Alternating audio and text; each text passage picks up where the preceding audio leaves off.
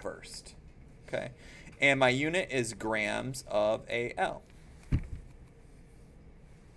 Give it a circle, and then your answer is good to go.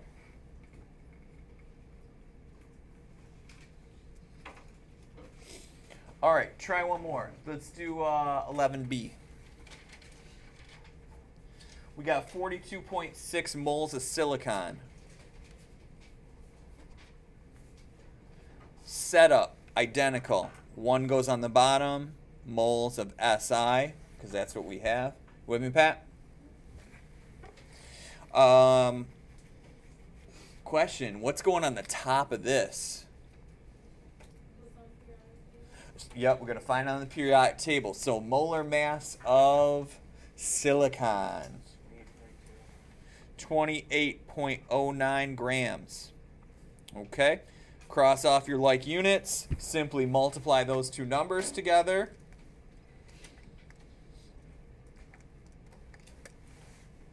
And we get 1196.634. We know we got to carve that answer up to be proper. Three significant figures makes it 1.20 times 10 to the... How many places do I got to go to the right? Three. There you go. Grams of SI. All right, so that is a mole to mass conversion.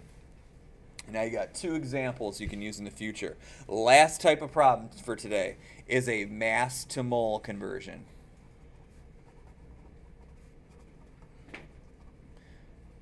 Now, this is basically going to be the opposite of what we just did. Okay, so if you look down at problem 12a, same page, we got 25.5 grams of silver. And what we got to do is we got to figure out how many moles is this. Okay, so just looking at this problem so far, what do I have to put below the line? grams of silver. And above the line, we want moles. So I'm going to put mole AG.